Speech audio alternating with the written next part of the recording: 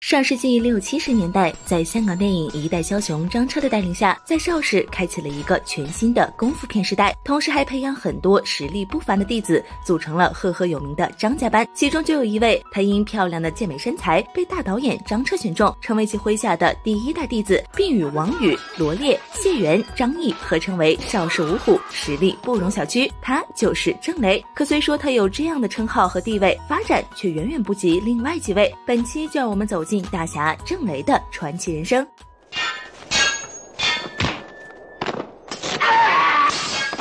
郑雷一九四四年出生于黑龙江佳木斯市，他的颜值虽高，但身高却只有一米六左右，而且他也从来没有想过有一天会进入影视行业发展。十几岁时，郑雷对健美产生了浓厚的兴趣，每天坚持努力的锻炼，逐渐养成了极为壮硕的体格，是名副其实的健美先生。一身腱子肉就是他的标志，而这也成为了郑雷能进演艺圈的优势。当时正是香港动作电影的黄金时期，急需要身手不错的表演人才。此时，张彻为了开启武侠。市场正在着力筹拍一部名为《虎侠奸仇》的动作片。作为张彻的首部武侠电影，他可谓是相当认真。剧本早已准备就绪，却一直选不到心中想要的男演员，因此张彻就决定公开选拔。他就经过各大报刊传播招聘，广收艺人。看到这条消息后，郑雷就抱着试试的心态来到了邵氏公司参加面试。很多人都知道张彻喜欢健美身材的演员，所以不出意外，凭借健硕的身材、俊美的线条，在一千多位青年才俊的应征者。中，中郑雷与体育健将出身的王宇成功脱颖而出，深受张彻的赏识，并在电影《虎侠奸仇》中共同担任主演。片中拳拳到肉的真实感令不少观众热血沸腾。在张彻的带领下，更是开启了新派武侠电影的新时代。而此片过后，郑雷与王宇的差距也拉开了。众所周知，六十年代的香港影坛可谓是阴盛阳衰，那些实力花旦成为了票房保证，甚至电影中的男主角都是女演员反串。但在张彻之后，暴力美学和阳刚美学就呈现了出来。在电影《虎侠奸仇》后，王宇凭借扎实的武术功底和一股敢打敢拼的劲儿，深受张彻导演的青睐，并为他量身打造了电影《独臂刀》。自此，王宇红透了半边天。而郑雷虽然有一身肌肉，但由于外形条件在一众弟子当中并不突出，所以郑雷在电影中。中就沦为了配角。随后，他出演了《边城三侠》《新独臂刀》《大刺客》等电影，可戏份不多，得不到表现的机会，一直都是处于不温不火的状态。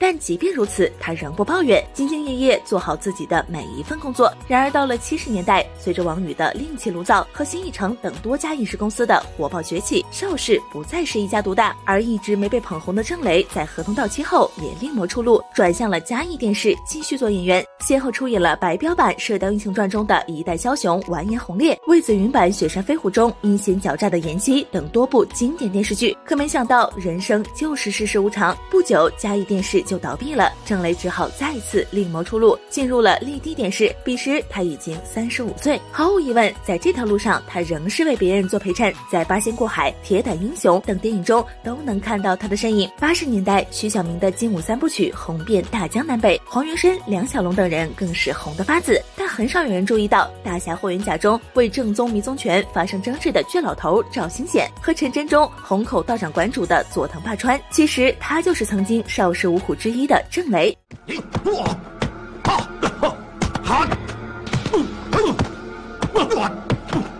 戏红人不红，这个结局对于每个演员来说有欣慰也有遗憾，这一点可能郑雷是最能深刻体会到的。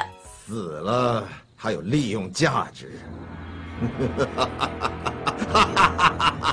一九八九年，为了纪念张彻从影四十周年，吴宇森与周星驰以及狄龙、姜大卫、陈观泰等张家班弟子齐聚一堂，共同策划了这部《义胆群英》。而郑雷则在片中饰演曹老大的朋友。其中印象最深刻的作品还有《吕宋滑板笑傲江湖》中为达目的不择手段的穆高峰，《黄日滑板天龙八部》中的乌老大。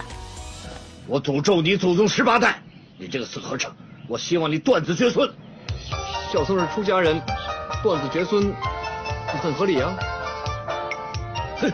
在这之后，他也就慢慢的退出了影坛。虽然张彻没有把他捧红，但他仍感激师傅的知遇之恩和邵氏的培育之恩，始终做好一个演员的本职工作，对待每个角色他都足够的认真。也正是他的这种敬业精神，尽管都是在出演配角，在当时影视行业衰退的时候，他仍是片约不断。二零零二年六月二十二号，一代枭雄张彻因病去世，享年七十九岁。郑雷依然以弟子的身份前来悼念，送师傅最后一程。如今七十八岁的郑雷早已息影多年，移居加拿大，与家人过着幸福的生活。纵观郑雷的演艺生涯，一生都在做绿叶，也曾被很多人遗忘，但他留下的那些经典作品，却是值得每位影迷反复观看。好了，以上就是本期节目的全部内容。如果有想了解的人物故事，欢迎在评论区留言。让我们下期再见，拜拜。